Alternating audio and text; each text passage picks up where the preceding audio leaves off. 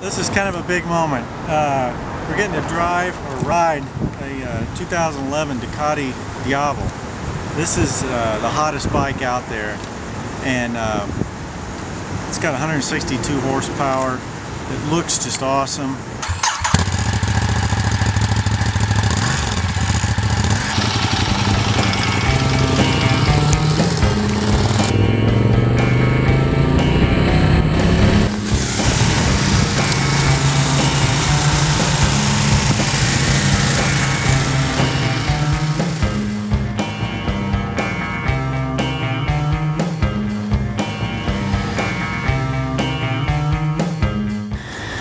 Well, that's really some bike.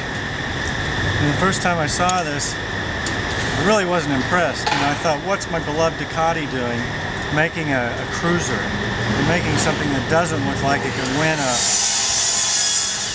World Superbike Championship or build a deck.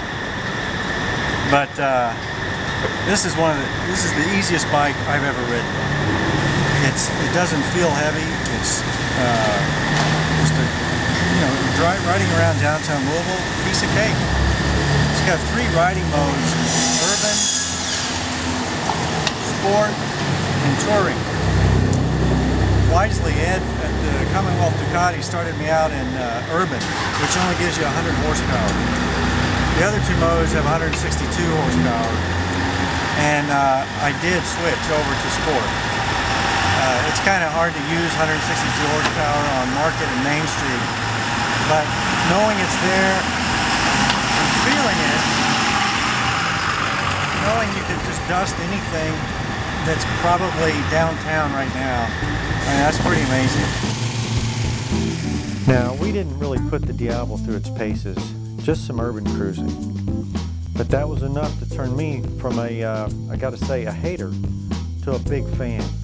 When I first saw this bike uh, online, I thought, what have they done? But, uh, you know, this thing really works. It's a great package. It rides like a smaller bike, but it's got 162 horsepower, which is a lot of power on a motorcycle. Diavel's aggressive stance looks like nothing else. It's huge rear tire and those twin exhaust cans just hanging there. It's awesome. That huge rear tire, I didn't think it would really handle that well, but it does. I mean, at low speed urban riding um, and a little quicker urban riding, it handled great. It's just such an easy bike to ride.